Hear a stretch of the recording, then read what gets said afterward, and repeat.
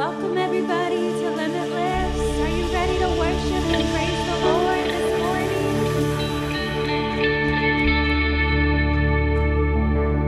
Go ahead and stand to your feet. Let's put our hands together. Come on, church, are you ready to worship the Lord this morning?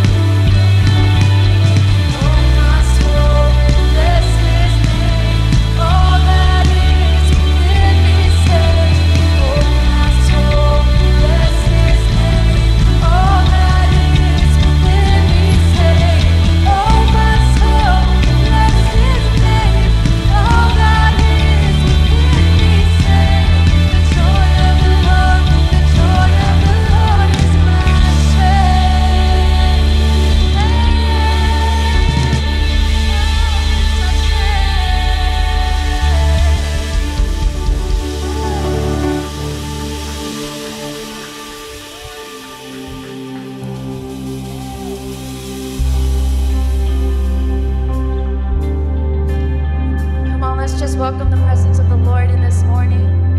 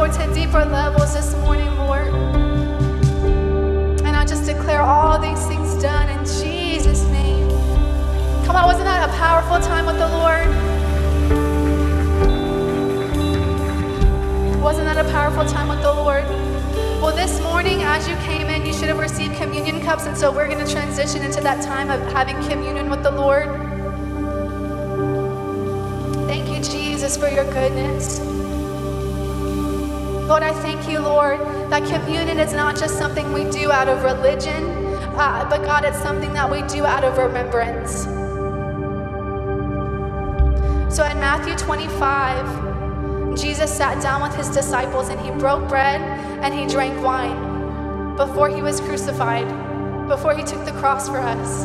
And he said, Do this in remembrance of me. He said, Do this to remember what I've done for you. And I'm here to tell you this morning that whatever it is that you need, it can be found in the cross and the work of the cross. If you need healing, if you need deliverance, if you need salvation, if you need provision, it can be found under the work of the cross, the cross that Jesus took for us. And so, right now, I just want to encourage you, whether it's your first time, whether you've been here so many times, I want to encourage you to close your eyes and pretend like you're talking to Jesus face to face. Jesus, we just remember what you've done for us. Jesus, I thank you for the cross that you bore, that your body was beaten, that your body was broken, Lord, for the blood that you shed so that I can be saved, God, so that I can have salvation, Lord God, so that I can have a heritage of the righteous from generation to generation, God. I thank you, Lord, that for what you've done in my life when I was broken, God, when I was alone, when I was depressed, God, that you met me where I was, that your blood was sufficient, God, that the sacrifice that you gave for me, Lord, was sufficient. Come on, just tell him thank you. It's an opportunity for gratitude this morning.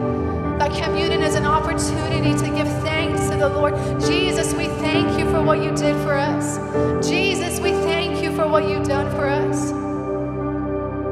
Right now, I want you to take the, the bread that represents the body of Christ that was broken for us, and I want you to hold that bread up.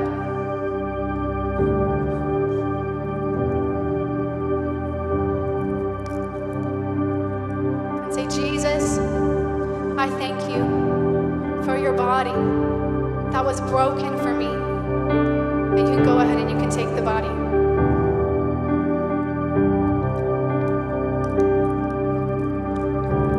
Next, I want you to open up the cup that represents the blood of Jesus, the beautiful, precious, powerful blood of Jesus. I thank you, Lord, that your blood speaks a better word over my life, that your blood speaks a better situa- uh, a better word over my situation, God. That your blood is sufficient for all of my needs. And I want you to say it out loud with your mouth. Say, Jesus, I thank you for your blood that was shed for me. And you can go ahead and you can drink the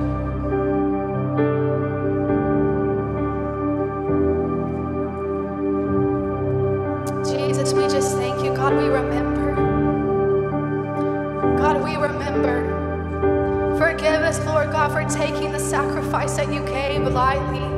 We don't take it lightly this morning, God, but we honor you, King Jesus, King of kings and Lord of lords, the one that gave it all for us.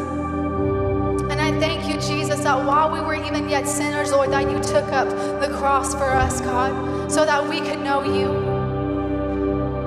God, we just thank you. Come on, open up your mouth. That's not, I don't want to just skip over this like this is just something to, to check off. Come on, this is a holy moment between you and the Lord. This is an opportunity for you to open your mouth and give Jesus thanks, to declare the work of the cross over your life. Jesus, we just thank you, Lord. We surrender to you. We surrender to the work of the cross in our life, God. We would allow it to be applied to every part of our life, God. That we wouldn't just pick and choose, Lord. That the work of the cross would come and, and meet our minds this morning, God. Would come and meet our hearts this morning, God. Would come and cover our mouths this morning, God. Would come and cover our ears this morning, Jesus. Would come and cover our bodies and bring healing in Jesus' name. Yes, God, we just thank you so much for your goodness, Lord. We thank you for your grace. And Jesus, we just declare you King. And we say, Come, Lord. The Spirit and the bride say, Come, Lord. Come, Jesus. We're just waiting on you this morning, God. We are just expecting for you this morning.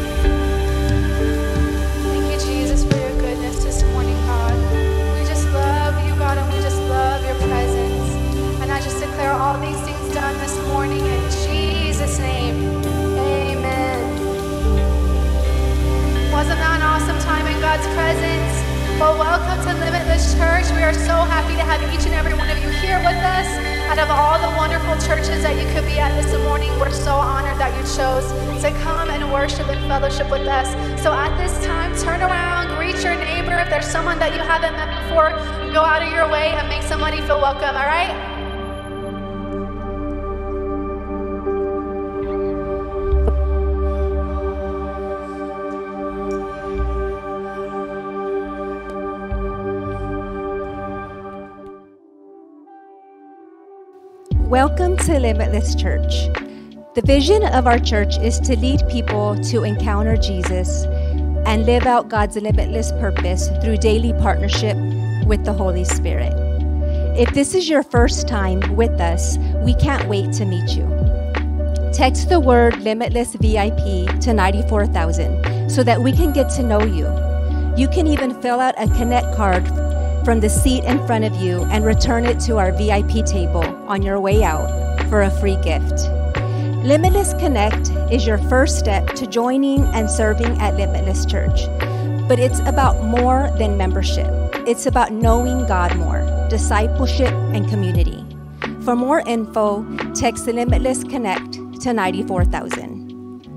If you would like to take the next step in your faith journey, and be baptized, you can sign up by texting the word baptism to 210 880 0950. Here at Limitless Church, we honor God by giving our first and our best through tithes and offering. There are several ways you can give. Text Give 7 to 94,000 and click the link online at limitlesschurchsa.com. You can give in person by using the boxes on your way out or send by mail. You can follow us on social media at Limitless Church SATX. You may also subscribe to our YouTube channel at Limitless Church SA to catch up on our latest series and sermons. If you have little ones ages 5 to 12, we would love for them to join our Limitless Kids upstairs. We also provide a nursery for world changers 4 and under. We would also like to remind you to silence all cell phones. The message will begin shortly.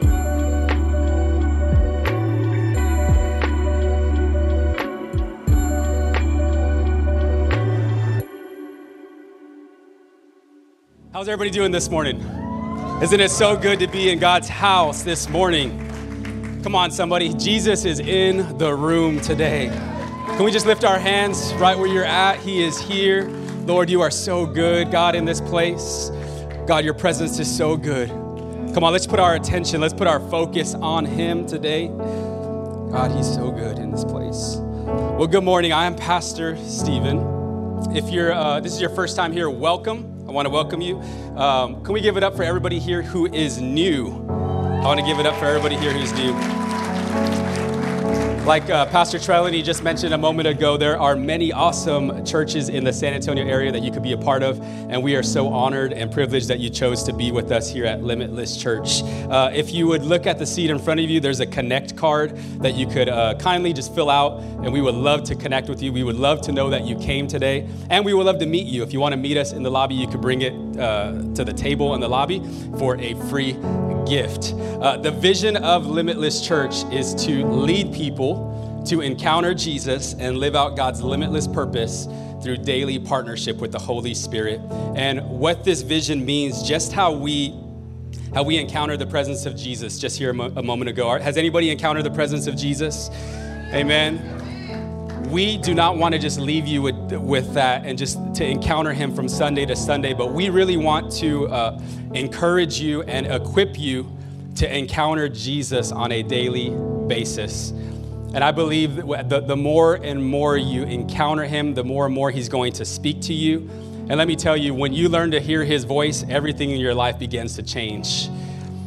When you begin to hear the voice of the Holy Spirit through daily partner partnering with Him, it changes your life and you get to live the limitless purpose that He's called you to. Amen. So one of the ways that we do this is through Limitless Connect. If you uh, would like to be a member here at Limitless Church or just kind of find some more information about the culture and the values, the vision of Limitless Church in more depth, you could text the word connect uh, to our all inclusive number that comes up on the screen.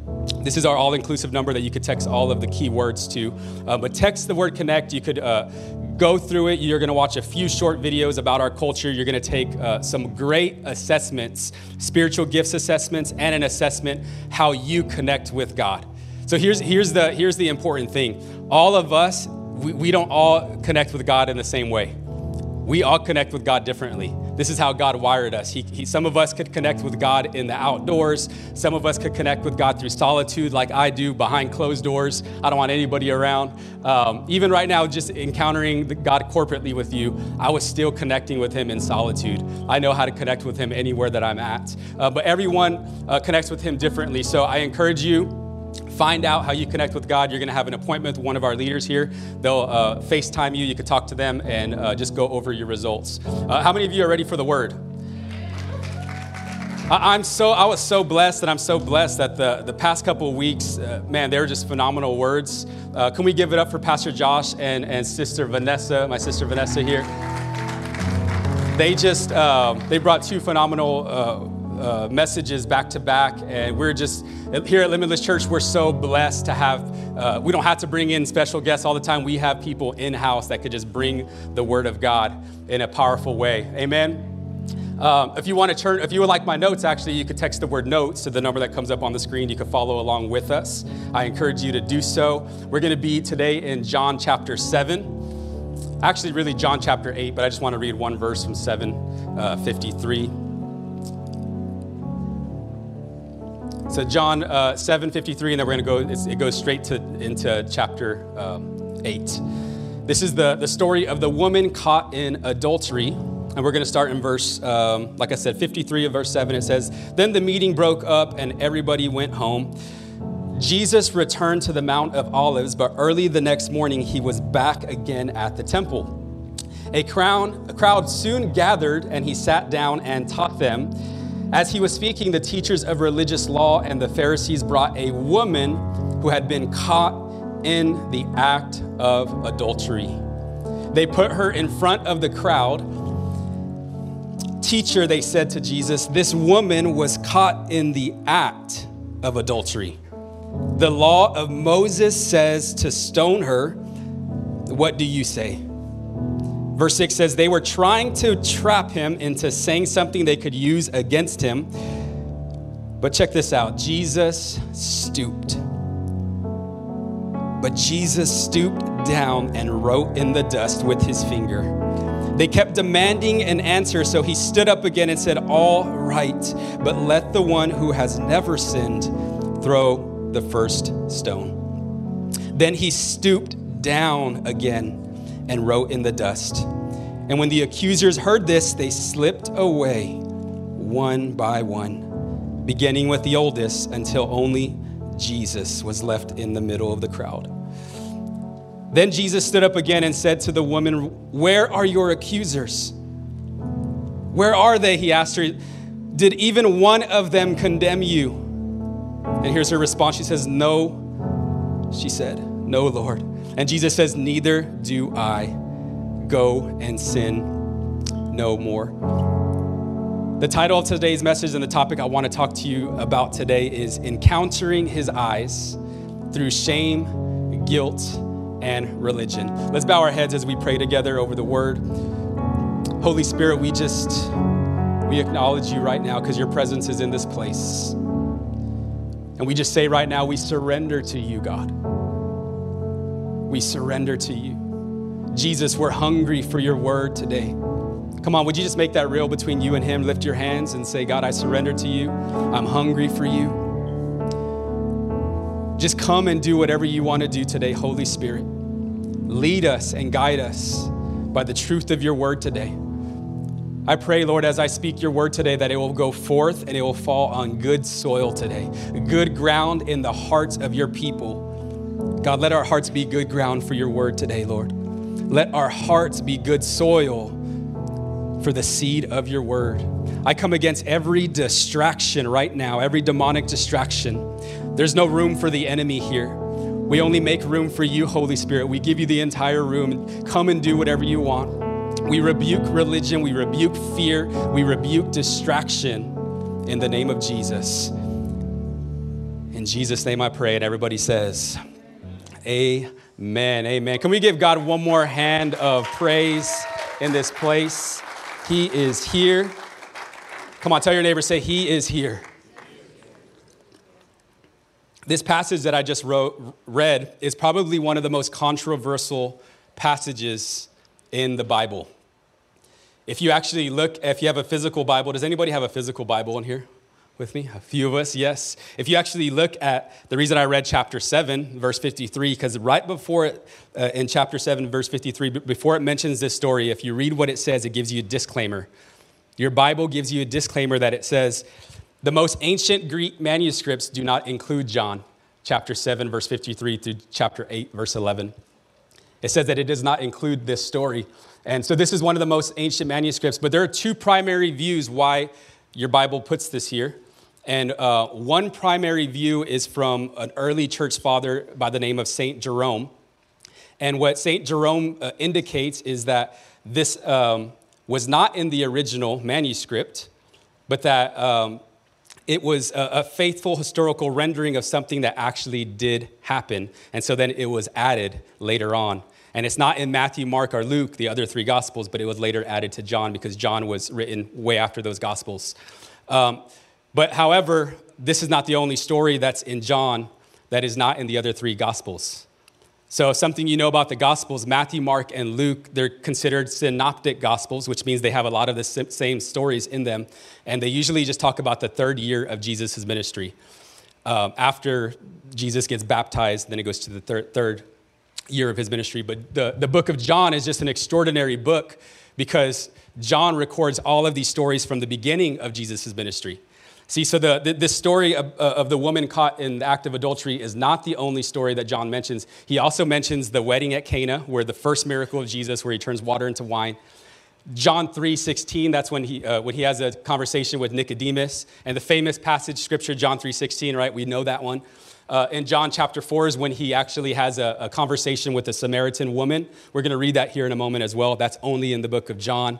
Uh, John chapter 5, he uh, he heals a lame man. And then also uh, in John chapter, we read this in John chapter 8. Then John chapter 9, he heals a man uh, uh, uh, who was blind from birth. And then also in John chapter 11 is when the raising of Lazarus. And none of those stories are in any of the other gospels except John. So there's another second primary view about the specific passage, and it's from um, uh, the, an early church father by the name of St. Augustine. Okay, and his belief is his claim is that this story was in the original manuscript, manuscript but that it was removed for the fear of giving people a license to sin. They feared, the early church feared that this passage would give the church uh, uh, an excuse or a license to commit adultery, that there will be massive adultery in the church. So it was then removed and then also later put back in. And so, this is what I believe is the problem, though, if that was the case. I believe that's the very problem. I believe the, the, the, very reason that they took the passage out to begin with is the very reason that it should have been left in in the first place. And here's point number one that I want to get to. Point number one is religion will teach you how to love God without first teaching you how furiously loved you are by God. This is why we need this story. This story, and, no, nobody at all disagrees that this, is, this story is, is uh, historically accurate. There's no question about that. It was just a matter if it was the Apostle John that wrote it. Um, but religion would try to teach you to love God without first teaching you how furiously loved you are by God. And so, if we look at the context of the story, I always tell y'all to look at the context, what happens before, what happens after. But right before this, this was the morning, Right before this was the Festival of Shelters or the Feast of Booths. And this is a huge celebration that just happened. I want you to think of it like a, celebration that we celebrate here is Easter, right? Think of it like Easter meets the 4th of July. Everybody gets crazy for 4th of July with fireworks, right? The sun is out, nobody's working, nobody's at school, you're just having a grand old time. And that's what was going on here at this time. The, it, it, everybody had, it just finished the harvest as well. Everybody had money in their pocket. Everybody had just gotten paid. So it was just a great day for everyone. Then these Pharisees come in. They drag this woman at the feet of Jesus, trying to trap him, trying to test him. How many of you know we're not called to test the Lord? We're called to trust the Lord. And here these religious leaders are here trying to test him. And I want to look at this. Uh, first, I want to ask um, what are they doing there? How do they catch her, right? Weren't they supposed to be at the temple? What were they doing? I, I believe, I don't think she was committing adultery at the temple. Usually, adultery is something more secretive, right? So, number one, how did they catch her? What were they doing there? Um, how did they know what was happening, right? And then another thing I want to I want to ask is who's missing in the story? The man. The man is missing in the story. Bicycling is a solo sport. Swimming is a solo sport. Adultery is a team sport. The last I check, it takes two to tango, right? so where is this man, right? Where is he? Um, I, I, it to me, it seems like a setup, which is why I'm asking these questions. It seems like a setup. Did they hire this guy and then just tell him to leave? Say, hey, you're good to go. Your job is done. We're here to embarrass this woman and test and trap Jesus. And in order for us to really, truly understand the measure of mercy and love in this story, I believe we had to identify with the participants here. All right? So, number one, there's the woman. The woman, you're guilty, you've been caught, right? It's known by everybody. You did it, whatever it is, right? Then there's the man in the story. You're guilty, you did it, whatever it is, but nobody knows about it. Nobody seems to know about it. And then there's also third, there's the religious leaders, the judgmental, fault finding Pharisees that overlooked their own sins and overlooked their own faults and their own flaws. So, those are the three people that we can identify with. You might be thinking, what about Jesus? Do I identify with him? No, not in this story, all right? Nobody here identifies with Jesus in this story, okay? There's three you could pick the, the woman, the man, or the religious hypocrites. Rock, paper, scissors, you pick, all right? So to me, this looks like, like a setup, um, but um, again, religion would try to teach you to love God without first teaching you how furiously loved you are by God. For, uh, religion would tell you to do this, do that. They'll teach you how to be holy without introducing you to the Holy One. Religion would try to make you be holy without setting up an encounter with the Holy One. This is why we're so intentional here with having encounters with Jesus. That's our vision, leading people to encounter Jesus, not encounter religion. Come on, somebody. Matthew 13, 44. I want to just show you how, how loved you are by God. I want to read this passage of scripture, which I've read many times here before, but I do want to read it. Matthew 13, 44. This is a, a parable of Jesus and it's the shortest parable in the Bible. It's called a one verse parable. And uh, we're going to start Matthew 13, verse 44. It says, The kingdom of heaven is like a treasure that a man discovered hidden in a field. In his excitement, he hid it again and sold everything he owned to get enough money to buy the field. And this is one of the most misinterpreted parables in the Bible, I believe. A lot of people, the traditional understanding of this parable, a lot of people think that they understand the field being the world, but a lot of people think that the kingdom is the treasure and that you are the man and you give it all up for the sake of the kingdom, for the sake of the treasure. That's how many people understand this verse, but that's not the, I, believe, the real meaning of this verse. I believe here's the real meaning of this verse I believe the field is the world, which all the other parables before this and after this say that. The field is the world, but Jesus is the man. And you are the treasure. And he gave up everything to buy you back.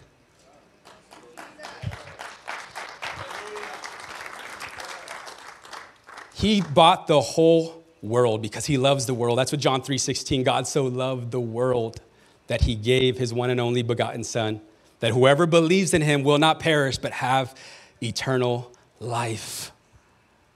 He's so good and he's so completely fascinated with us.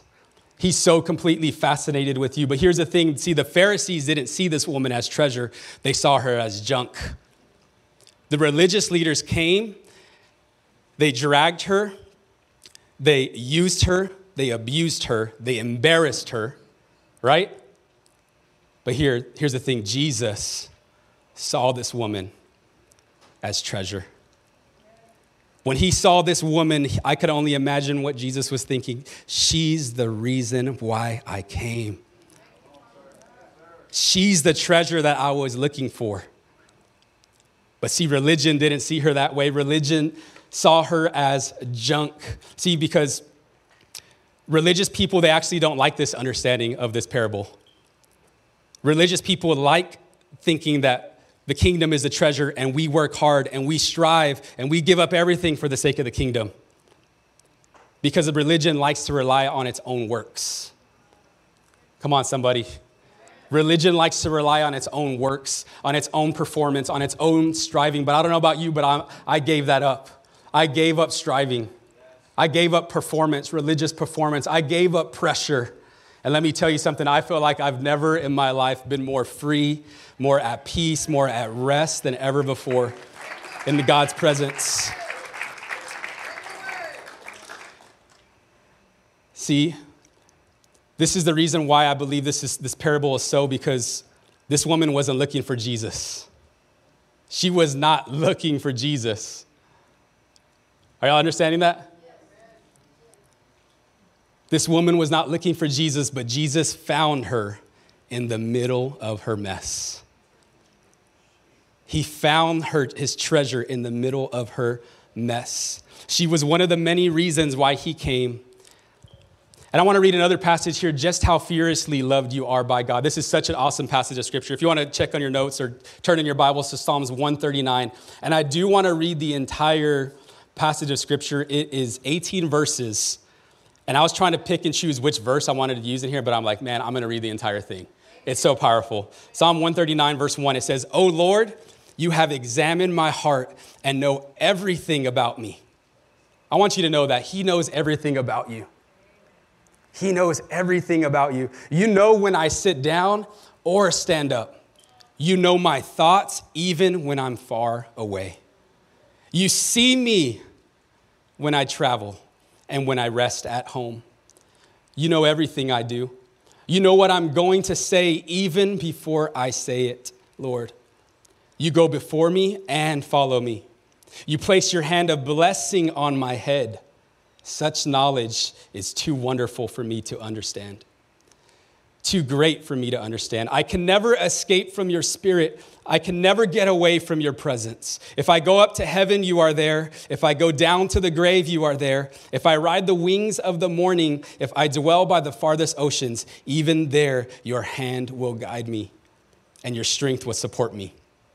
I could ask the darkness to hide me and the light around me to become night, but even in darkness, I cannot hide from you. I thank God that even when I tried to backslide, He didn't let me. His grace didn't let me. His grace was too good to, man. even darkness I cannot hide from you. To you, the night shines as bright as the day. Darkness and light are the same to you. And you made all the delicate inner parts of my body and knit me together in my mother's womb. I love this part. Thank you for making me so wonderfully complex. Your workmanship is marvelous. How well I know it. You watched me as I was being formed in utter seclusion, as I was woven together in the dark of the womb. You saw me before I was born. Every day of my life was recorded in your book. Every moment was laid out before a single day had passed. How precious are your thoughts about me, oh God. That's so powerful. They cannot be numbered. I can't even count them. They outnumber the grains of sand. And when I wake up, you are still with me. Friends, let me tell you, your God is completely fascinated and mesmerized by you. He is completely fascinated and mesmerized by us. And I want to read another passage in, in Songs of Solomon 4 9. It says this, and this is the Songs of Solomon, if you read it, it's, it's a picture, a great picture of, of uh, Jesus, the groom, and us as the bride, the church. And it says, Psalms 4, verse 9, it says, You have captured my heart. This is the bridegroom speaking to his bride. You have captured my heart, my treasure. There's that word, my bride. You hold it hostage with just one glance of your eyes, with a single jewel of your necklace. Church, he is furiously loved. You're furiously loved by him. I want to tell somebody that. Somebody needs to understand that because people have been trying to teach you to live right, people have been trying to teach you to be holy, and you've never encountered the Holy One. You'd never encountered true love before.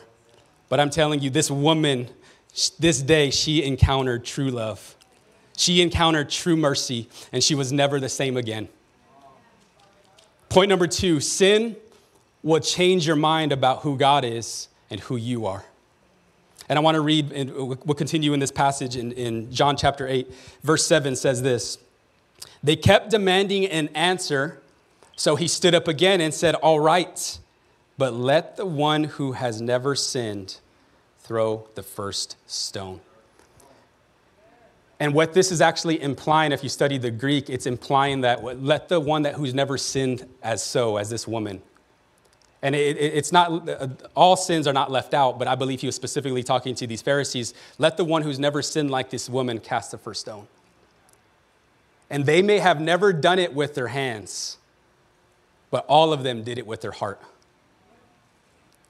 I don't trust anybody who says, oh, you know what, I've never done that in my heart. Because all of us have. All of us have sinned in our heart. And Jesus even says, He says, if you've even looked at a woman upon lust, in Matthew 5, he talks about, that. You've already committed it in your heart. Come on, somebody. So all of these Pharisees had to leave one by one.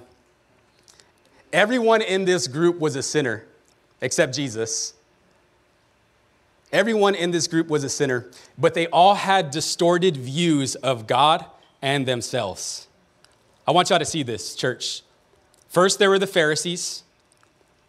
They believed God to be a, they saw God as a narcissistic, judgmental, fault finding God, which is why they were narcissistic, fault finding, and judgmental. The woman saw God as a distant, abandoning, and absent God, which is why she was living in guilt, shame, and religion. And the other group that I didn't mention is the disciples. The disciples were here as well. And the disciples, they saw God as a God who was going to make wrong things right in the wrong way. We talked about this a couple weeks ago where, where Peter, uh, I'm sorry, James and John wanted to call down fire from heaven and burn up the people who didn't believe in Jesus, right? So these disciples, what they believed, they saw God as, okay, he's here to make things right, but even if it takes being the, the wrong way, we'll still do it. Kind of like most conservatives nowadays. Sorry, I, that just slipped out. I, I, I don't know. right? You could be on the right side and have the wrong spirit.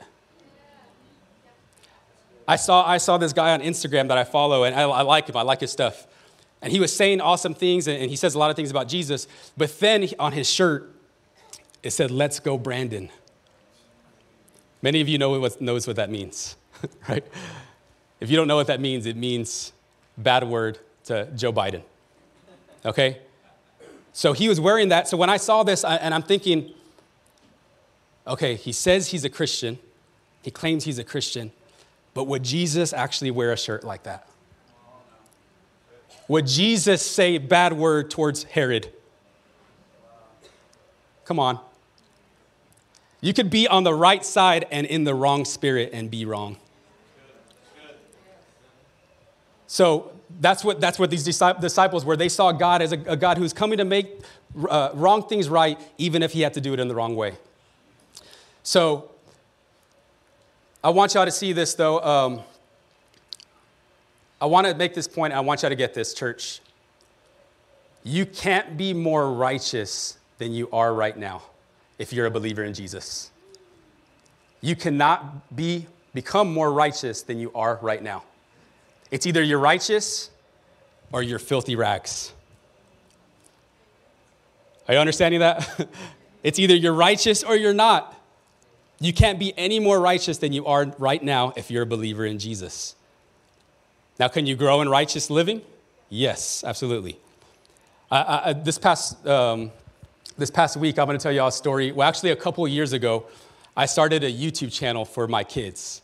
Ezra and Addie, they just want, they wanted to do a toy review, so I started a YouTube channel for them. I recorded them, I edited it. It was pretty cool. And, um, but just this past uh, week, on our way to school in the morning, uh, I heard my kids discussing in the back what they wanted to be when they grew up.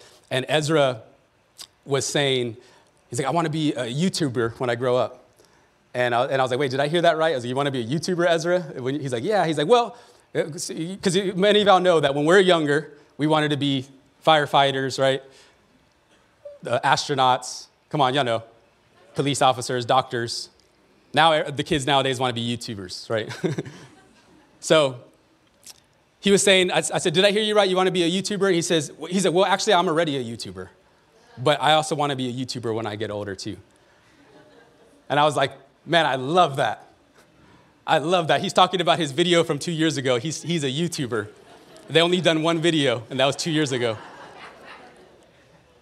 But I thought about it and God spoke to me something. I was like, man, I love that. And that's how most Christians should, most Christ followers should live now.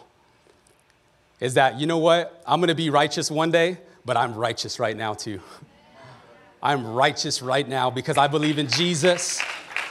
Because let me tell you, the God I serve, the God who knew no sin became sin so that I can become the righteousness of God, is what the scriptures say.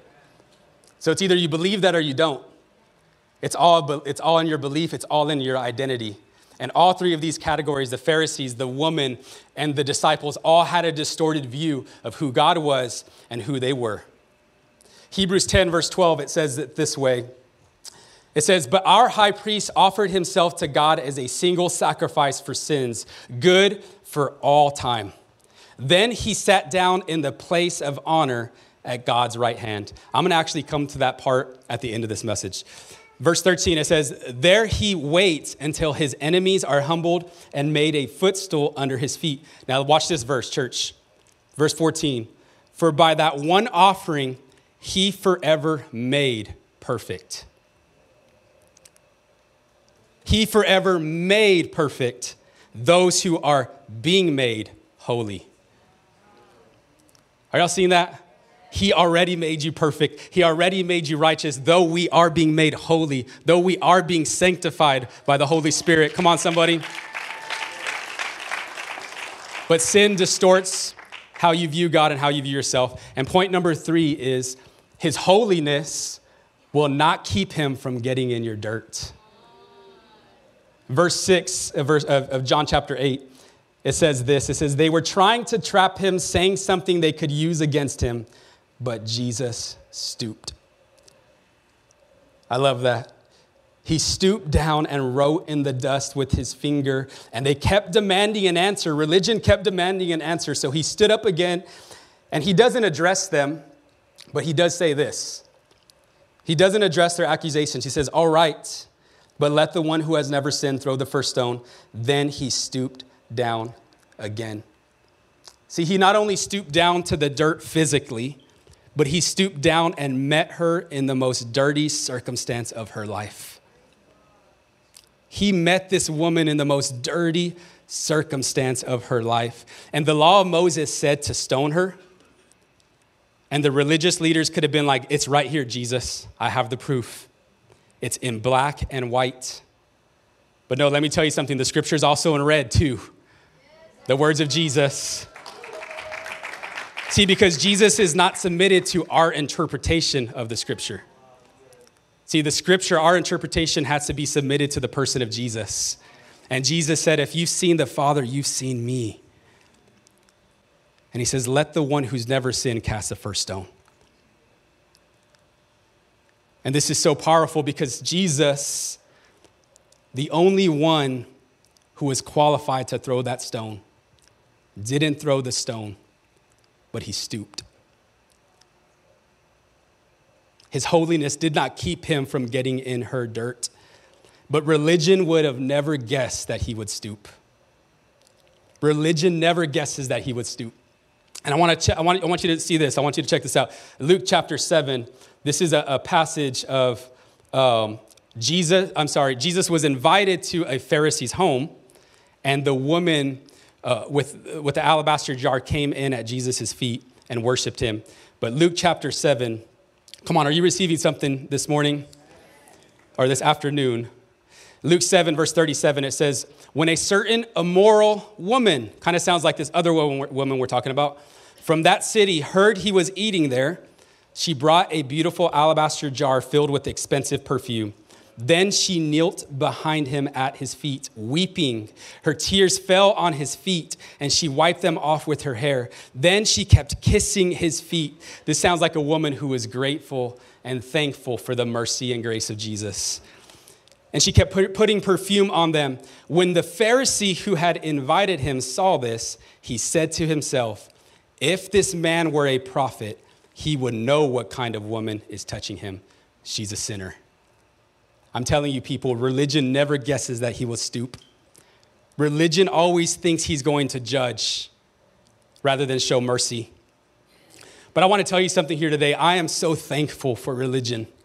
I'm thankful for the seasons of striving. I'm thankful for the seasons of religious performance. I'm thankful for the seasons of hypocrisy. I'm thankful for the seasons of pressure because just like this woman, religion ushered me into meeting the real Jesus.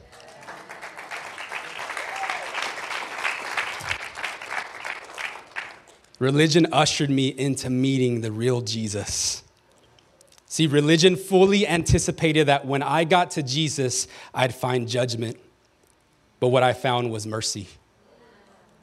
What I found was mercy. And while religious men wanted to swing, the creator of the universe wanted to stoop. The redemptive God of the universe wanted to stoop.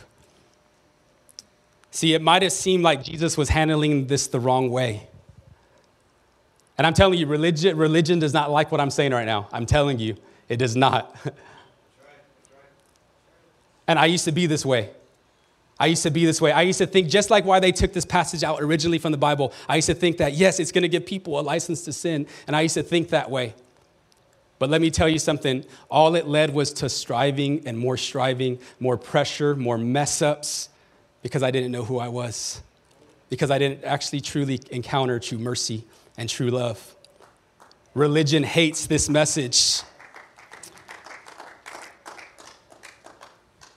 And it, it might seem like Jesus is handling this situation the wrong way, but I'm telling you, Jesus didn't preach the gospel to her, Jesus demonstrated the gospel to her.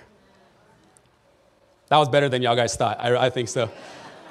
That was really good. He was demonstrating the gospel here in this passage. He wasn't preaching to her, he was showing it to her. And Jesus didn't excuse her sin, but he was about to pay for her sin. He was about to pay for the sins, her sins and the sins of the world. And Jesus didn't minister a gospel of separation. He didn't say, You're separated from me. Now you had to receive me. No, he ministered a gospel of reconciliation, not separation.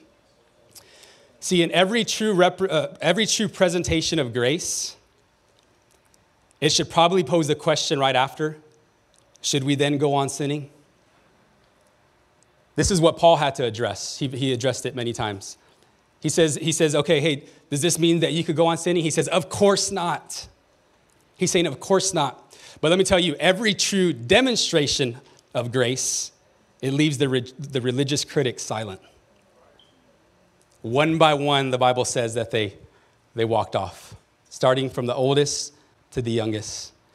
What that represents is the highest form of religion has to leave, even all the way down to the lowest form of religion has to leave.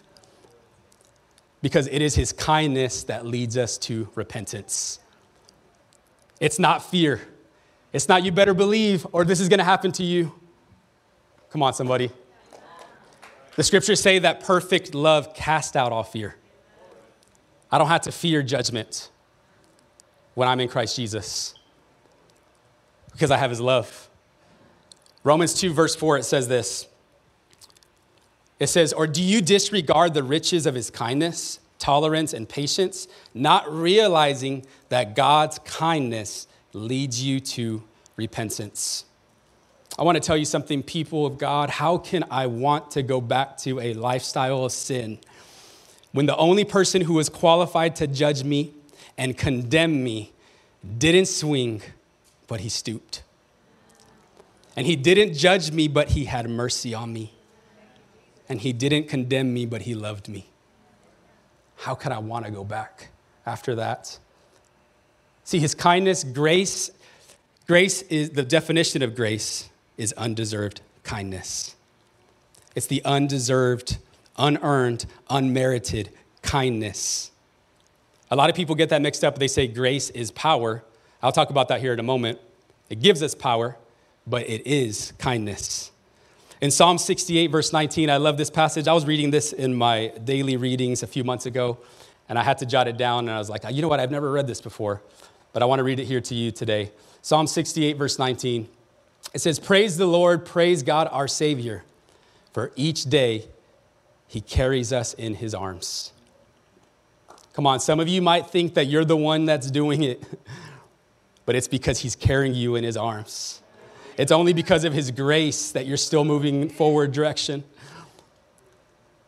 I, I saw this, this story on Instagram, and I thought it was very, very cool. It was a very cool story. Uh, it was a story of this, this, this, uh, this Christ follower, this man where he had a vision of Jesus, of him and Jesus on a beach. And uh, in his vision, he saw two sets of footprints walking on the beach. And that Jesus began to show him his entire life on this beach. And so, the beginning part of this man's uh, life, he saw two sets of footprints, which were his footprints and Jesus' footprints. But when his vision went on, he saw the end of his life. And at the end of his life, he only saw one set of footprints.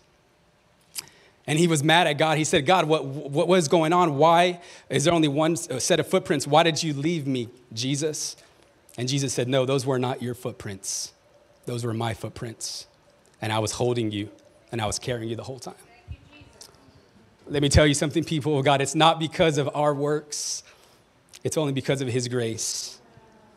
Can we give Him some praise? Can we give Him some worship? On your worst days, he's carrying you, and on your best days, he's carrying you. Verse 10, I want to, I want to go now, move on to John chapter 8 again. Verse 10, watch what it says here. It says, Then Jesus stood up again and said to the woman, Where are your accusers? Didn't even one of them condemn you? And we talked about that. Their uh, religion was gone. And then she said, No, Lord. And Jesus said, Neither do I. Go and sin no more. This is very, a very interesting passage and very powerful passage, a very a powerful verse. He says, Go and sin no more. Other translations say, Now go and leave, leave your life of sin. And I want to tell you this when he said this, this was not a command. He didn't say, Now go and you got to be more disciplined. He didn't say, Go and you got to start reading my word. He said, Go and sin no more. It was empowerment.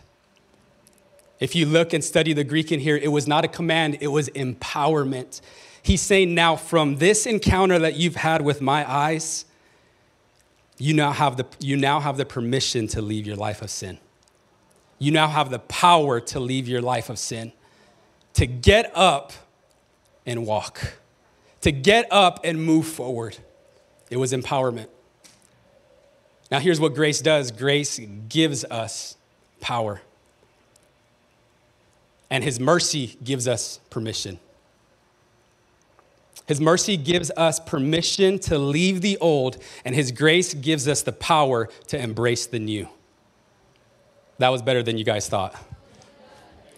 His mercy gives us the permission to leave the old, and His grace gives us the power to embrace the new.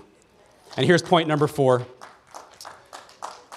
And the, my, my last and final point is the answer is in His eyes. The answer is in His eyes. Revelation 2, verse 18. This is Jesus speaking in the book of Revelation to the Apostle John in a vision. He says, Write this letter to the angel of the church in Thyatira. This is the message from the Son of God, whose eyes are like flames of fire, whose feet are like polished bronze. Revelation, verse 19, I'm sorry, chapter 19, verse 11 says, Then I saw heaven opened and a white horse was standing there. Its rider was named Faithful and True, for he judges fairly and wages a righteous war.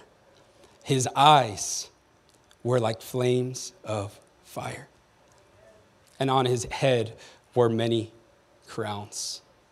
I'm telling you, people of God, the answer is in his eyes of fire. The answer to all of your problems, all of your sins, all of your worries, all of your concerns, the answer is in his eyes. See, I'm not concerned about messing up, church. I'm not concerned about messing up my relationship with Jesus. The only thing I'm concerned about is taking it for granted. This is why we emphasize daily encounters with Him every single day. Because I don't ever want to think that I could do this on my own without encountering His eyes. I don't ever want to trust in my own righteousness or my own strength or trust in what I'm doing for God. I only want to trust in what He did for me.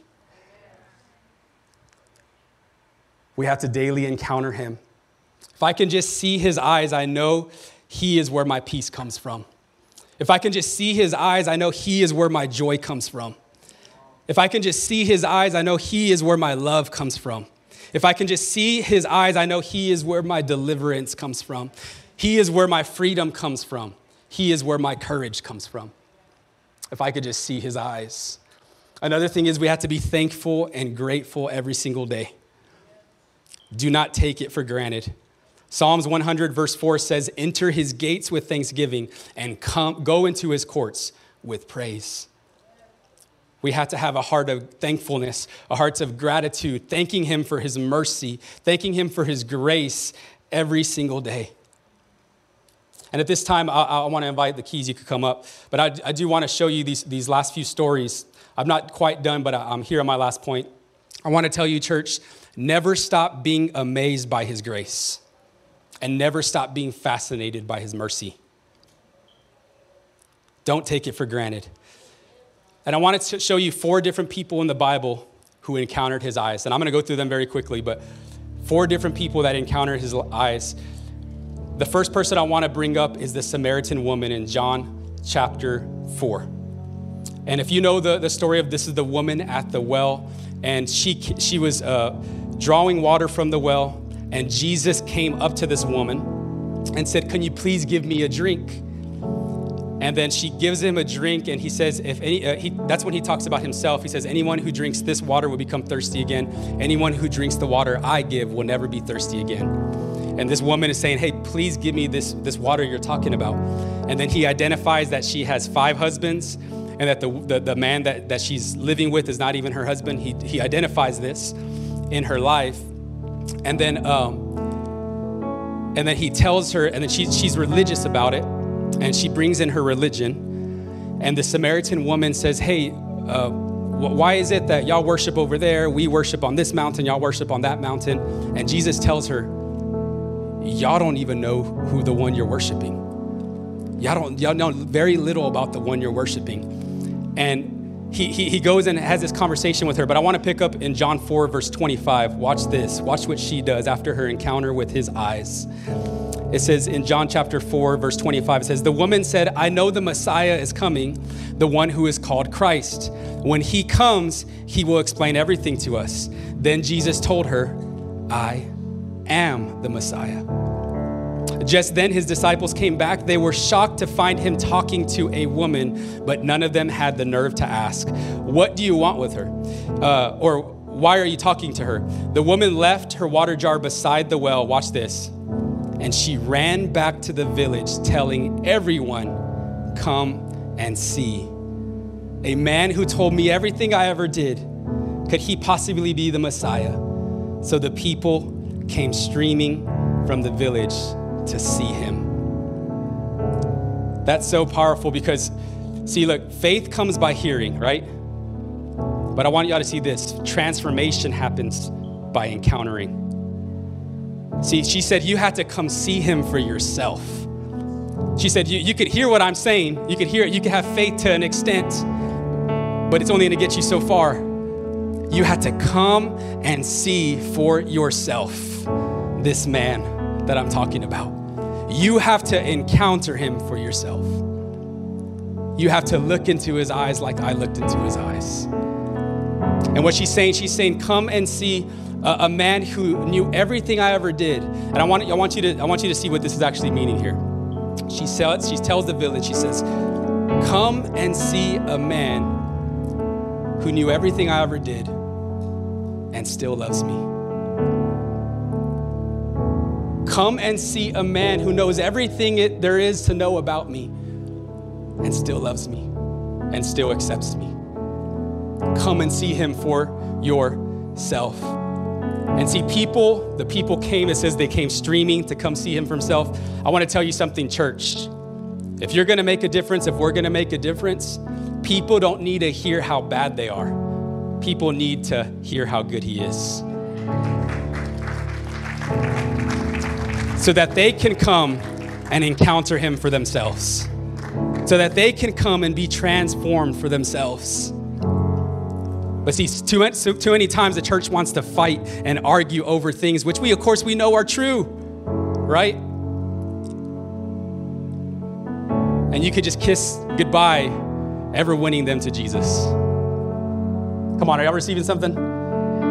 Come and see, come and see, come and see. And see, and this woman experienced true love, and she would never settle for a lesser love again because she encountered his eyes. This woman would never settle for a lesser love again.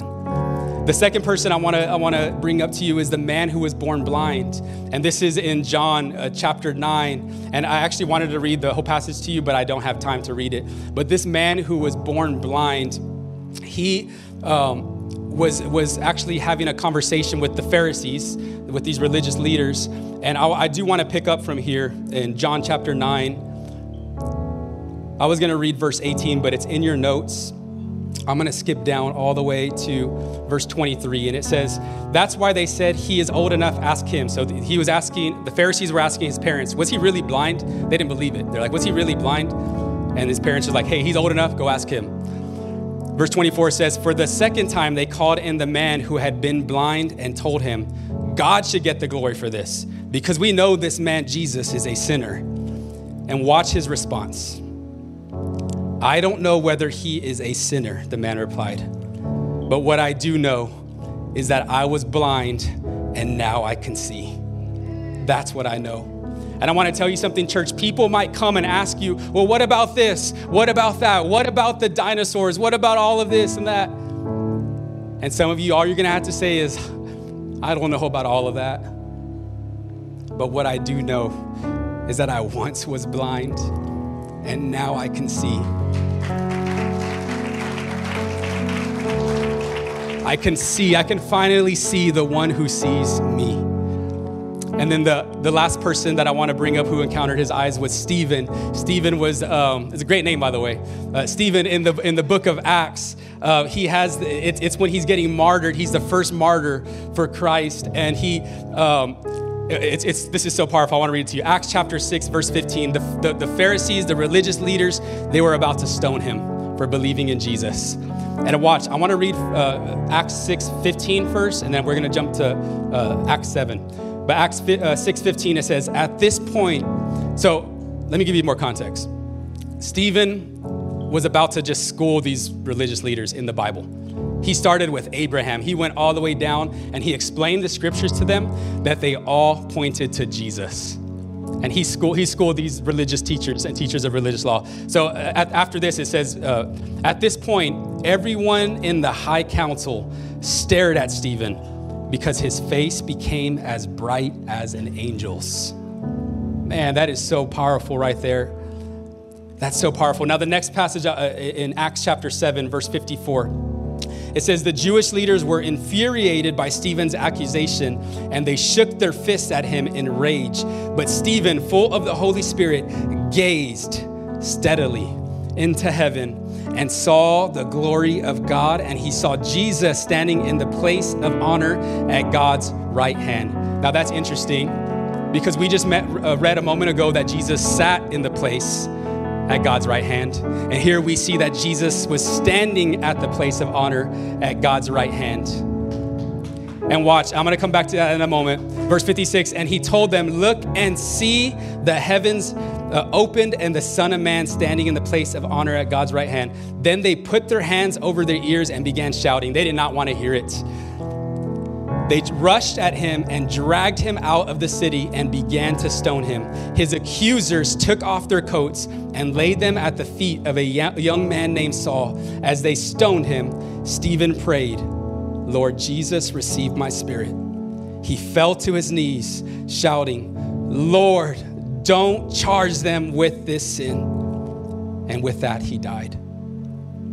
Here we have Stephen with his face shining like the sun and he repeats the same words that Jesus did when he was being crucified Lord, don't charge them with this sin. Don't count this sin against them. And Jesus, the Son of Man, is standing at this time. And here's what I believe I believe he was standing because I believe Jesus. I want to say this really quick. I know a lot of people think that the rapture is going to happen soon. It could, it could, could not or they, they, they believe in the second coming of Christ. It's going to happen soon. But I want to tell you something. I believe when Jesus looked at Stephen, he saw himself. He saw Stephen, and Stephen looked so much like Jesus that Jesus was like, All right, that's, I'm coming for my boy. I'm coming for him. And I believe that one day when we look more like Jesus, our faces are gonna shine, right? When we act more like Jesus, we stop fighting with people, we stop judging people, and we look like Jesus. I believe one day this, this, this world is gonna look like the kingdom of heaven. And Jesus is gonna look down at us and say, All right, that's the kingdom I've been waiting for. Now I'm coming back home. I'm coming. But we're not there yet, guys.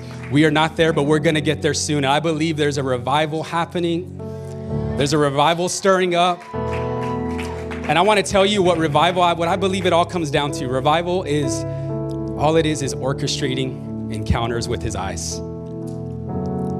It's a place, it's a people orchestrating encounters with the eyes of fire, with the eyes of Jesus. And as I close out, this woman caught in adultery, Jesus wrote in the dirt.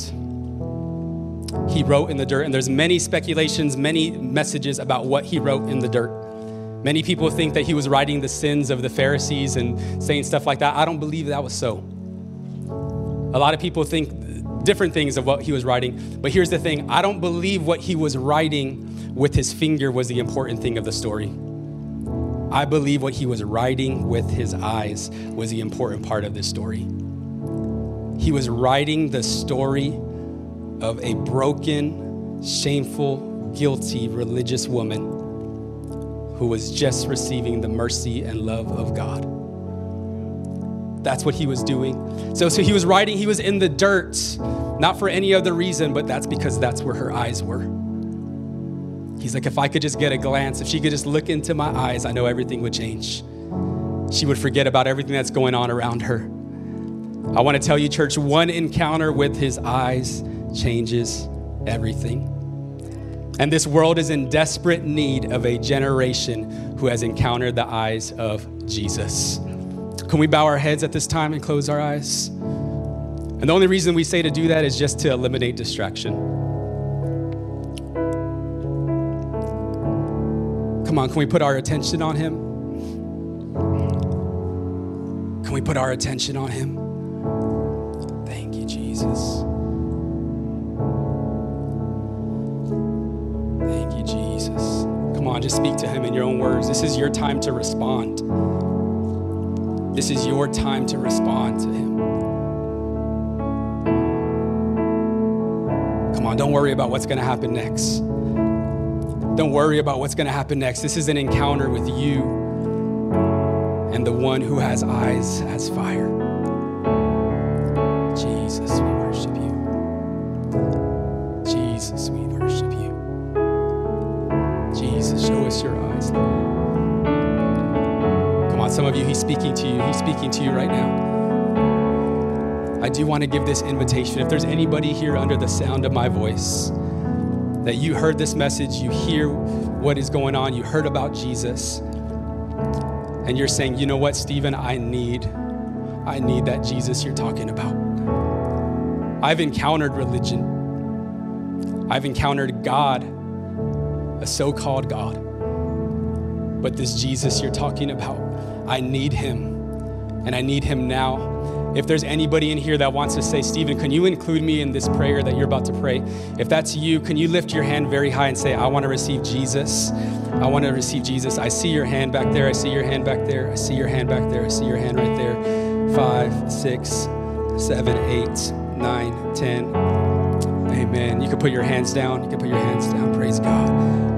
Is there anybody else? I need Jesus. I need him desperately. Come on, we got to be desperate for him, church. We got to be desperate for him.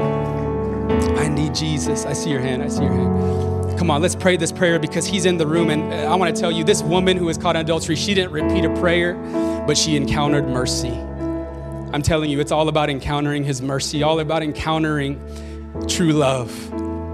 So I just want to guide you through this prayer as a starting place. So let's just all say, Lord Jesus, say, Lord, I need you. Say, Jesus, say, I am desperate for you. And I ask you today, Jesus, into my life. I give you my sin. I give you my heart. Fill me today, Jesus, with your love, with your mercy, with your grace. Come on, let it be real between you and Him. Let it be real between you and Him today, church. Come on, He's in the room. He's in the room. He's in the room. Let's worship Him. Come on, let's worship Him. Let's stand up to our feet. Come on, He's let, let's worship Him. I want I want to. If anybody here needs to respond to Jesus here today, I believe He's He's tugging on your heart. Come on, He's He's speaking to you. I want you to respond in any way that He calls you to respond. Come on, close your eyes. And it may be coming to this altar and just kneeling up here. I felt earlier in worship, I just had to kneel before you, God. So, if, however you feel led to respond, would you just respond to Him at this time as we worship? Jesus, show us your eyes, Lord. Show us your eyes, Lord. Thank you, Jesus. We want to see you, God. We need you, Jesus. We need you. We need you.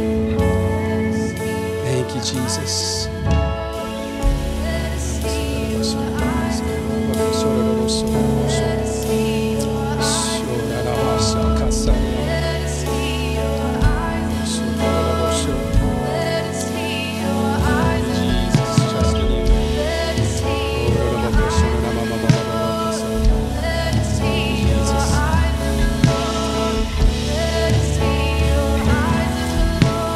He's so deserving. He's so deserving. He's so deserving. Thank you, Jesus. Thank you, Jesus. Thank you, Jesus. Thank you, Jesus.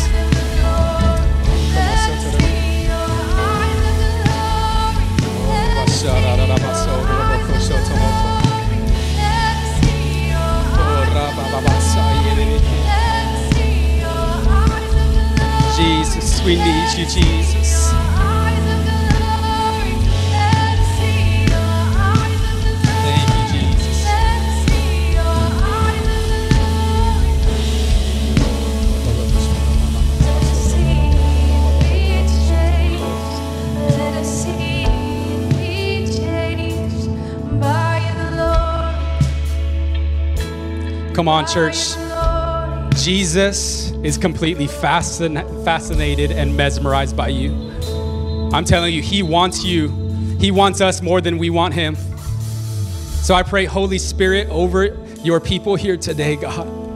I pray over your church, God, that you will just rise up within them a passion, Lord, a passion for Jesus. I thank you that today, Lord, you're op- you have opened eyes, you have opened ears, God, you have opened hearts. God, you have deposited your word today, Lord, that people may see Jesus, God. Come on, lift your hand, surrender to Him. Come on, if you're filled with the Holy Spirit, can you just stir up your spirit? And this is not prophesying in tongues, this is just our heavenly language, building up yourself. Jude 120 says, Build yourself up in the Holy Spirit. Can you just pray in the Holy Spirit, stir yourself up, church? Come on, we need a, uh, God, God is raising up a church who prays, who is desperate for Him, who's hungry for Him.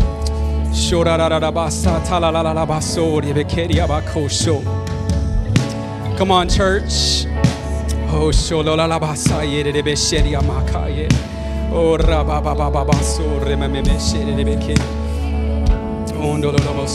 Oh. Oh, soroboko. Oh, ramamamamamaka. Oh, rabababasa yerebeke.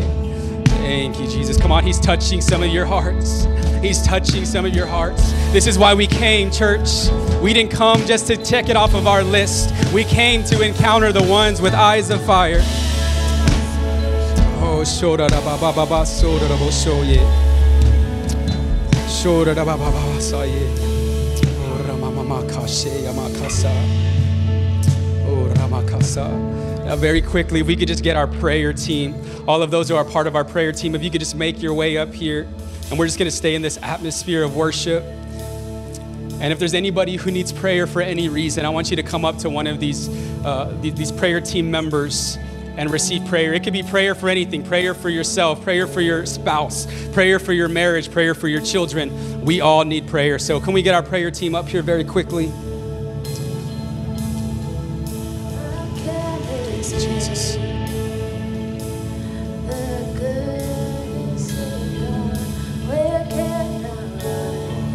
Ranamashe yabasa tata shararamaso yebebe kishite mikoso. Ororoboso rorobababababababakosho roromokoso. Orabababababamaso tobrobobokosho. Where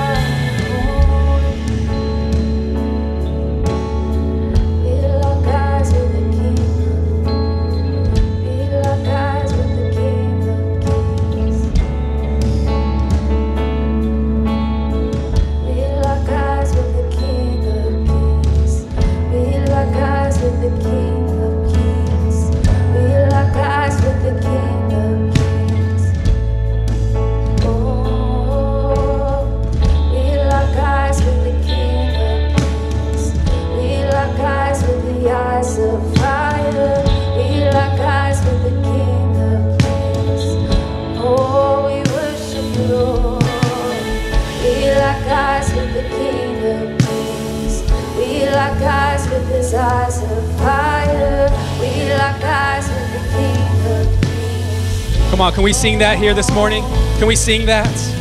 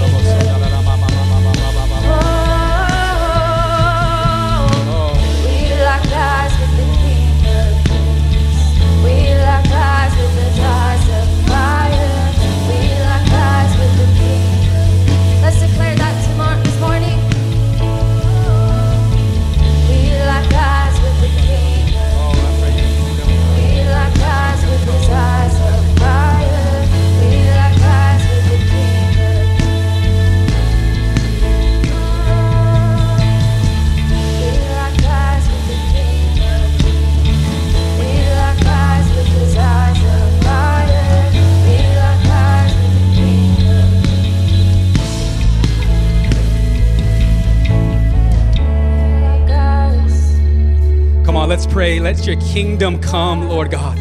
Let your kingdom come to this earth. Let your will be done as it is in heaven, God. Come on, just begin to pray his kingdom down. Come, Lord Jesus. Let your kingdom come to our hearts today, God. Come and rule and reign, Jesus, in our hearts. Come on, some of you, I feel like you need to allow Jesus, King Jesus, to rule and reign in your life. I believe there's people in here that believe in Jesus, but he does not rule and does not reign in your life. Come, Lord Jesus. Come, Lord Jesus. Come, Lord Jesus. Oh, come and rule and reign, Lord. Oh, come, Lord Jesus. Come, Lord Jesus. Come, Lord Jesus. Come, Lord Jesus. Come, Lord Jesus.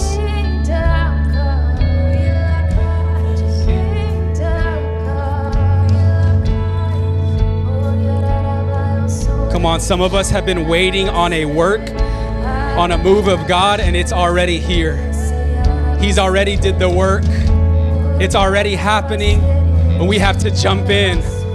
We have to jump in. Thank you, Jesus.